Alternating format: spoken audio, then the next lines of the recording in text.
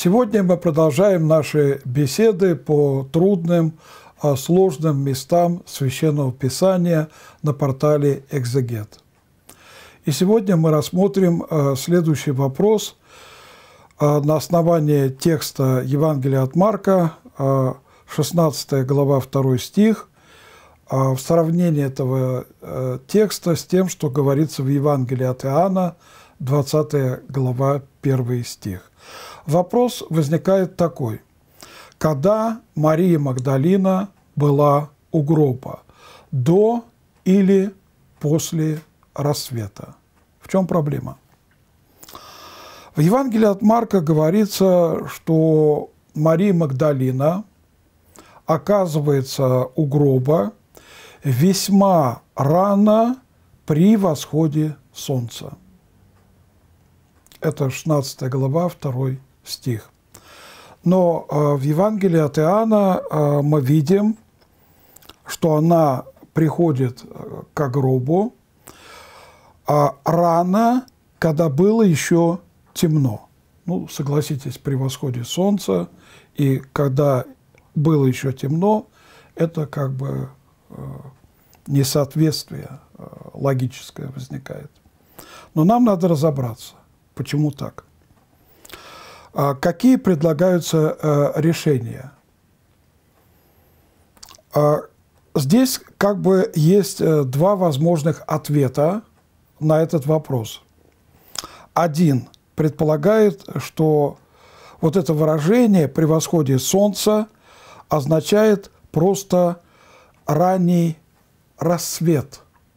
Ранний рассвет. Можно сравнить с э, псалтырью, 103 Псалом, 22 стих.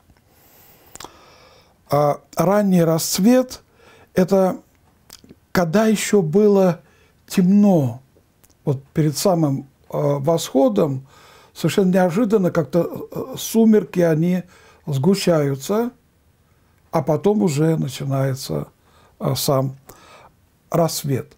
Но есть э, вторая точка зрения, которая предполагает, что а, Мария Магдалина, она пришла к гробу действительно до рассвета, когда было еще темно. То, что сообщается а, в Евангелии от Иоанна, 20 глава, 1 стих. А потом а, она не решилась подойти к гробу одна, она возвращается к женщинам, она их опередила, присоединяется к ним, и уже вместе с ними они э, двигаются э, к гробу, о чем рассказывается у Марка 16.1. И что может это подтвердить?